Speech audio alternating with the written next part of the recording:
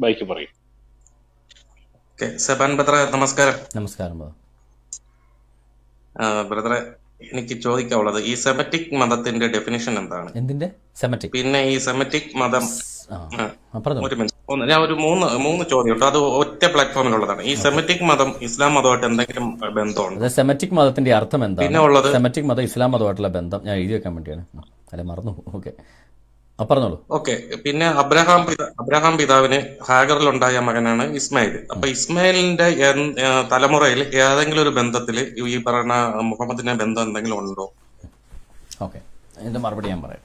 അതായത് എന്താണ് സെമറ്റിക് മതം എന്ന് പറഞ്ഞു കഴിഞ്ഞാൽ ഷേം എന്ന് പറയുന്ന നോഹയുടെ മൂന്ന് പുത്രന്മാർ ഷേം. അതിൽ രണ്ടാമത്തെ പുത്രനാണ് ഷെയിം. നമ്മൾ പറയും എപ്പോഴും ഷെയിം ഹാം യാഫത്ത് എന്ന് പറയുമെങ്കിലും ശരിക്കും എന്റെ ഓർമ്മ ശരിയാണെങ്കിൽ രണ്ടാമത്തെ മകനാണ് ഷെയിം. അപ്പം ഈ നോഹയുടെ ഷെയിമിന്റെ സന്തതി പരമ്പരയിലാണ് അബ്രഹാം വരുന്നത്. അബ്രഹാമിന്റെ സന്തതി പരമ്പരയിലാണ് ഇസഹാക്ക് വരുന്നത്. ഇസഹാക്കിന്റെ മകൻ യാക്കോബ് രണ്ട് മക്കളുള്ള ഒരാൾ യാക്കോബ്. ആ യാക്കോബിന്റെ സന്തതി പരമ്പരയിലാണ് പന്ത്രണ്ട് ഗോത്ര പിതാക്കന്മാർ വരുന്നത്. സാക്കോബിന്റെ പന്ത്രണ്ട് മക്കളാണ് പന്ത്രണ്ട് ഗോത്ര പിതാക്കന്മാർ അതുകൊണ്ട് യഹൂദ വിശ്വാസത്തെ പൊതുവെ സെമറ്റിക് മതം എന്നാണ് വിളിക്കുന്നത്. സെമറ്റിക് റിലീജിയൻ എന്ന് വിളിക്കുന്നത്.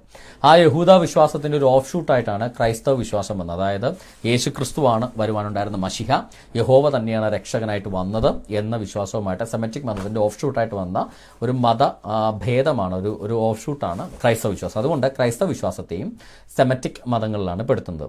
എന്നാൽ ഇതിലൊന്നും പെടാതെ അറബിയിലെ ഖുറൈശികളുടെ ഇടയിലുണ്ടായിരുന്ന ഒരു ദേവനെ പിടിച്ചുകൊണ്ട് ഒരു അള്ളാ എന്ന് പറയുന്ന ഖുറൈശി ദേവനെ ഏകദൈവമായിട്ട് പറഞ്ഞുകൊണ്ട് മുഹമ്മദ് എന്ന് പറയുന്ന ടീം വന്നിട്ട് അവർ എല്ലാം പിടിച്ച് അവകാശപ്പെടുകയാണ്. ആ അബ്രഹാം ഞങ്ങളുടെയാണ് ഇയാൾ ഞങ്ങളുടെയാണ് എല്ലാം പറഞ്ഞ് അവകാശപ്പെട്ട് ഇവർ സെമറ്റിക് മതം ആകാൻ നോക്കുക. അതായത് നല്ല ഗ്ലാമറിലുള്ള ഒരാളെ കാണുമ്പോൾ ഉമ്മടെ ആളാണ് എന്ന് പറയുന്ന ആ സെയിം നാട്ടുമ്പുറ ലോജിക്ക് വെച്ചിട്ടാണ് മുഹമ്മദ് സെമറ്റിക് മതം വന്നത് മുഹമ്മദിന് സെമ ഷേമുമായിട്ട് ബന്ധമുണ്ടോ എന്ന് എനിക്കറിയില്ല. കാര്യം ഷേമിന് ഇഷ്ടംപോലെ മക്കളും ഒത്തിരി ഇപ്പോൾ അബ്രഹാമിന് തന്നെ ഒത്തിരി സഹോദരന്മാരുണ്ട്. ഷേമിന് ഇപ്പോൾ ഒന്നുകിൽ ഷേമിന്റെ മക്കൾ അല്ലെങ്കിൽ ഹാമിന്റെ മക്കൾ അല്ലെ യാഫത്തിന്റെ മക്കൾ ഈ മൂന്നിൽ ഏതെങ്കിലും ആളുകളിൽ പെട്ടതാണ് മുഹമ്മദ് നബി ഞാനും നിങ്ങളും എല്ലാവരും. അങ്ങനെ നമ്മളെല്ലാവരും വേണം സമറ്റിക്കാണെന്ന് പറയാം.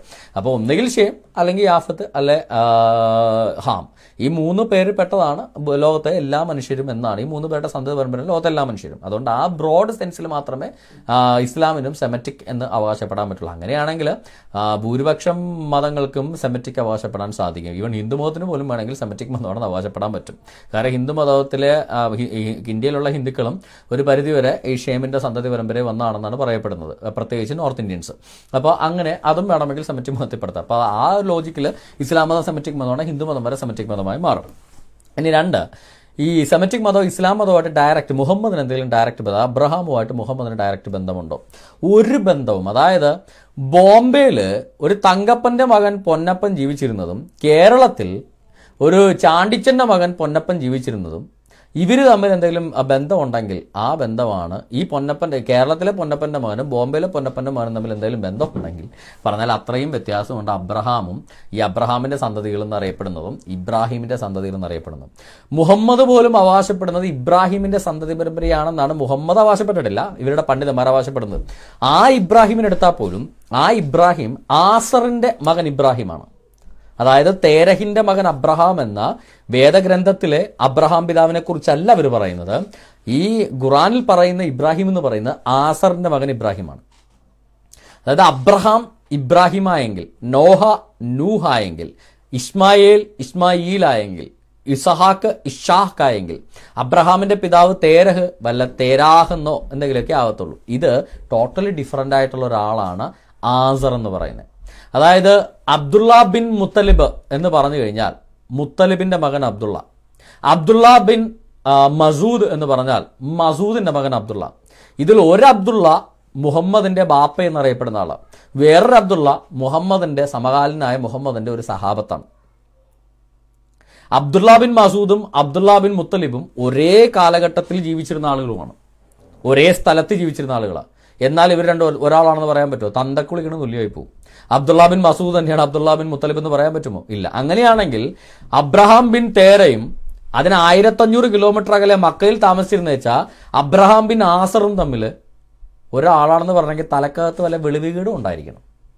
ഒരേ സ്ഥലത്ത് ഒരേ കാലഘട്ടത്തിൽ ജീവിച്ചിരുന്ന അബ്ദുള്ള ബിൻ മസൂദും അബ്ദുള്ള ബിൻ മുത്തലിബും രണ്ടുപേരും മക്കയിൽ താമസിച്ചിരുന്ന ആളുകൾ ഈ രണ്ടാളുകളും അബ്ദുള്ള ബിൻ മുത്തലിബും അബ്ദുള്ള ബിൻ മസൂദും ഒരു സമകാലീനരായ ഇസ്ലാമിക ചരിത്രം രേഖപ്പെടുത്തപ്പെട്ടിട്ടുള്ള ഒരേ കാലഘട്ടത്തിൽ ഒരേ ടൗണിൽ ജീവിച്ചിരുന്ന ആളുകൾ അവർ രണ്ടും രണ്ട് വ്യക്തികളാണെന്ന് പറയുന്ന ആളുകൾ ആയിരത്തി അഞ്ഞൂറ് കിലോമീറ്റർ അകലെ അതായത് ബർഷേബയിൽ താമസിച്ചിരുന്ന ബർഷേബക്കപ്പുറം താമസിച്ചിരുന്ന ഇസ്രായേലിൽ ബർഷേബക്കപ്പുറം താമസിച്ചിരുന്ന ആസ ഇബ്രാ അബ്രഹാം ബിൻ തേരയും മക്കയിൽ താമസിച്ചിരുന്ന അബ്രഹാം ബിൻ ആസറും ഒരേ ആളാണെന്ന് പറയണമെങ്കിൽ തലക്കകത്തും എല്ലാം ഓളം ഉണ്ടായിരിക്കണം എന്ന് നമ്മൾ പറയേണ്ടി വരും. അതായത് ഇവർ പറയുന്ന ഖുറാനിൽ പറയുന്ന ഇബ്രാഹിമായിട്ട് ഒരു ബന്ധമല്ല. ഇബ്രാഹിമിന്റെ പിതാവ് ആസറാണെന്ന് ഖുറാനിൽ വ്യക്തമായിട്ട് പറയുന്നുണ്ട്. അതായത് നമ്മുടെ തേരഹിന്റെ മകനായ അബ്രഹാമുമായിട്ട് യാതൊരു ബന്ധവുമില്ല. അപ്പോൾ തേരഹിന്റെ മകൻ മുത്ത കൊച്ചുമോനായ ഇസ്മായിലുമായിട്ടും ഇവർക്ക് യാതൊരു ബന്ധവുമില്ല. ഇനി മൂന്നാമത്തെ തെളിവ്. ഇവരുടെ സംബന്ധിച്ചിടത്തോളം ഈ ഖുറാനെ സംബന്ധിച്ചിടത്തോളം ഇവർ പറയുന്ന ഒരു ആർഗ്യുമെന്റ് എന്ന് പറയുന്നത് ഇസ്മായിലും ഇബ്രാഹിമും ഒക്കെ നബിമാരായിരുന്നു. അവരുടെ സന്തതി പരമ്പരയിലാണ് ഈ മുഹമ്മദ് ജനിച്ചതെങ്കിൽ മുഹമ്മദിന്റെ പിതാക്കന്മാർക്ക് താക്കീത് നൽകപ്പെട്ടവരാ. കാര്യം മുഹമ്മദിന്റെ പിതാക്കന്മാർ എന്ന് പറഞ്ഞാൽ ഈ അബ്രഹാം ഇസ്മായിൽ അടങ്ങുന്ന ആളുകൾ അടക്കം വരും അവരുടെ തലമുറയിൽ പിതാക്കന്മാർ. എന്നാൽ ഖുറാനകത്ത് പറയുമ്പോൾ മുഹമ്മദിന്റെ പിതാക്കന്മാർക്ക് പോലും താക്കീത് നൽകപ്പെട്ടിട്ടില്ല എന്നാ പറയുന്നത് മുഹമ്മദിന്റെ പിതാക്കന്മാർക്ക് പോലും താക്കീത് നൽകപ്പെട്ടിട്ടില്ല എന്ന് വളരെ കൃത്യമായിട്ട് ഖുറാനകത്ത് പറയുന്നുണ്ട്. അത് ഞാൻ അതിന്റെ റെഫറൻസ് എടുക്കാം. യാസിൻ സൂറത്ത് യാസീന് മുപ്പത്തി ആറാമത്തെ സൂറയുടെ ആറാമത്തെ ആയത്ത് മുപ്പത്തി ആറാമത്തെ സൂറ ആറാമത്തെ ആയത്ത്.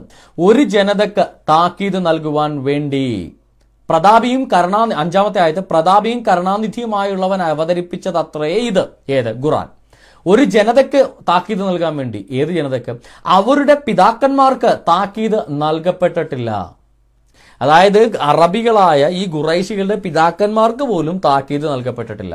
അപ്പോൾ ഈ അബ്രഹാമും ഇസഹാക്കും ഒക്കെ ഈ ഖുറൈശികളുടെ പിതാക്കന്മാരെ പെട്ടതല്ല. അപ്പൊ മുഹമ്മദ് ഖുറൈശിയാണ്. അല്ലാതെ ഒരിക്കലും ഒരു ഇസ്രായേലൈറ്റോ ഇസ്മയിലൈറ്റോ അല്ല. അപ്പൊ ഈ മുഹമ്മദിന്റെ പിതാക്കന്മാരിൽ പെട്ടതാണ് ഇസ്മായിൽ എന്ന് പറഞ്ഞാൽ മുഹമ്മദിന്റെ പിതാക്കന്മാർക്ക് താക്കീത് നൽകപ്പെട്ടവരാ ഒരു ജനതയുടെ തലമുറകൾക്ക് മുമ്പുള്ള പിതാക്കന്മാർക്ക് താക്കീത് നൽകപ്പെട്ടിട്ടില്ല എന്നാണ് ഖുറാനത്ത് പറയുന്നത്. ഈ ഖുറൈശികളുടെ പിതാക്കന്മാർക്ക് താക്കീത് നൽകപ്പെട്ടിട്ടില്ല. ഒരു താക്കീതുകാരൻ വരാത്ത ജനതയാണത്. അപ്പൊ അബ്രഹാമും ഇസാഖുമായിട്ട് ഇവർക്ക് യാതൊരു അബ്രഹാമും ഇസ്മായിലും ഇസാഖുന്നുമായിട്ട് ഇവർക്ക് യാതൊരു ബന്ധവും ഇല്ലെന്ന് ഖുറാൻ തന്നെ പറയുന്നു. പിന്നെ മുഹമ്മദിന് മാത്രം എങ്ങനെയാണ്? മുഹമ്മദിന്റെ അപ്പൻ അബ്ദുള്ളക്കില്ലാത്ത അപ്പൻ എന്ന് ഇവർ വിളിക്കുന്ന അബ്ദുള്ളക്കോ മുത്തശ്ശൻ എന്ന് ഇവർ പറയുന്ന മുത്തലിബിനോ ഇല്ലാത്ത ബന്ധം മുഹമ്മദിന് മാത്രം എങ്ങനെ ഉണ്ടായി? വല്ല ജീൻ ട്രാൻസ്ഫറോ ക്ലോണിങ്ങോ വല്ലതും അബ്രഹാമിന്റെയൊക്കെ ജീൻ വല്ലതും ശേഖരിച്ചു വെച്ചിട്ട് പിന്നെ ക്ലോൺ ചെയ്ത് മുഹമ്മദിന് ഉണ്ടാക്കിയതാണോ എന്ന് നിങ്ങൾ പറയേണ്ടി വരും. ഇതാണ് ഉത്തരം ബ്രദർ. ഓക്കെ സാബാൻ ബ്രോ ഒരു ഒരു സംശയമാണ്. ഈ പറയുന്ന അള്ളാഹു ഈ പറയുന്ന നമ്മളെ ആ, യേശു ക്രിസ്തുവിന്റെ അടുത്ത് പരീക്ഷിക്കാൻ വേണ്ടിട്ട് വരുന്ന സാത്താൻ ഉണ്ടല്ലോ ഈ പുള്ളി തന്നെയാണോ ഈ അള്ളാഹു? കാരണം എനിക്ക് തോന്നാൻ ഡൗട്ട് ഡൗട്ട് തോന്നാൻ കാരണം എന്ന് പറയണത് ഇപ്പൊ ഖുറാനിൽ പറയുന്നുണ്ട് എല്ലാവരും അള്ളാഹുവിന്റെ ഇസ്ലാം മതം സ്വീകരിക്കുന്നവരെ യുദ്ധം ചെയ്യാൻ പറയുന്നുണ്ട്. അവിടെയും യേശുക്രിസ്തുവിന്റെ യേശു ക്രിസ്തുവിന്റെ അടുത്ത് പറയുന്നുണ്ട് നീ എന്നെ കാലിൽ തൊട്ട് വന്നിച്ചാൽ ഈ പറയുന്നല്ലോ കാണുന്നതെല്ലാം നിനക്ക് സ്വന്തമാക്കി തരാം. അപ്പൊ രണ്ടിന്റെ അവിടെയും ഒരു പോയിന്റ് ഉണ്ടല്ലോ. ആ ഒരു ആംഗിളിൽ സാത്താൻ അവിടെ കൊടുക്കുന്ന വാഗ്ദത്വവും ഇവിടെ മുഹമ്മദിന്റെ അള്ളാഹു കൊടുക്കുന്നതായിട്ട് മുഹമ്മദ് പറയുന്ന വാഗ്ദത്വവും രണ്ടും സെയിം ആണ്. അല്ലാ ഇലാഹ ഇല്ലല്ല എന്ന് പറഞ്ഞാൽ രക്തവും ധനവും എല്ലാം സംരക്ഷിക്കപ്പെട്ടിരിക്കുന്നു. എല്ലാം കിട്ടും. സ്വർഗത്തിലെ ഹൂറികളും ഭൂമിയിലെ പെണ്ണുങ്ങളും ലാവിഷായിട്ട് കിട്ടും. ഇതാണ് മുഹമ്മദ് മുന്നോട്ട് വെക്കുന്ന അള്ളാഹുവിന്റെ വാഗ്ദത്വം എന്ന് പറയുന്നത്. ഇതേ സെയിം കോൺസെപ്റ്റ് തന്നെയാണ് സാത്താൻ യേശു ക്രിസ്തുവിന്റെ അടുക്കലും പറയുന്നത്. അപ്പൊ ആ ഒരു ആശയം വെക്കുവാണെങ്കിൽ ഇപ്പോൾ ഒരു കോമൺ ആയിട്ട് ആശയം ആശയമുണ്ടെന്നുള്ളതുകൊണ്ട് സാത്താൻ അള്ളാഹു ആണെന്ന് പറയാൻ നമുക്ക് പറ്റത്തില്ല. പക്ഷെ മുഹമ്മദ് തുറന്ന് സമ്മതിക്കുന്നുണ്ട്. സാത്താൻ അള്ളാഹു ആണെന്ന് മുഹമ്മദ് തുറന്ന് സമ്മതിക്കുന്നുണ്ട് ഒരു ഹദീസിനകത്ത്.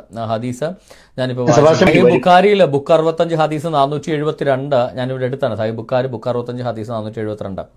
വൺസ് അള്ളാഹ്സ് മെസ്സഞ്ചർ ബിക്കെയിം സിക്ക് അള്ളാഹയുടെ ദൂതൻ രോഗിയായി and could not offer his night prayer അഞ്ച് നേരത്തെ നിസ്കാരത്തിൽ ഒരു നേരം നിസ്കരിക്കാൻ പുള്ളിക്കാരന് സാധിച്ചില്ല. തവജൂത് ചെയ്യാൻ പുള്ളിക്കാരന് സാധിച്ചില്ല. For two or three nights രണ്ടോ മൂന്നോ രാത്രിത്തേക്ക് പുള്ളിക്കാരന് അഞ്ച് വട്ടം നിസ്കരിക്കാൻ സാധിച്ചില്ല. അവസാനം രാത്രി നിസ്കാരം നടന്നില്ല. Then a lady the wife of Abu Lahab Abu ലഹബിന്റെ ഭാര്യ അവിടെ വന്നു. Came and sat O Muhammad ആ, അബു ലഹബിന്റെ ഭാര്യ പറഞ്ഞു മുഹമ്മദേ I think that your Satan your ഷെയ്ത്താൻ ഹാസ് ഫോർ സെക്കൻഡ് യു നിന്റെ സാത്താൻ നിന്നെ മറന്നു എന്ന് എനിക്ക് തോന്നുന്നു. For I have not seen him with you for two or three nights ഞാൻ ആ സാത്താനെ നിന്റെ ഒപ്പം രണ്ട് മൂന്ന് ദിവസമായിട്ട് കാണുന്നില്ലല്ലോ എന്ന് പറഞ്ഞു.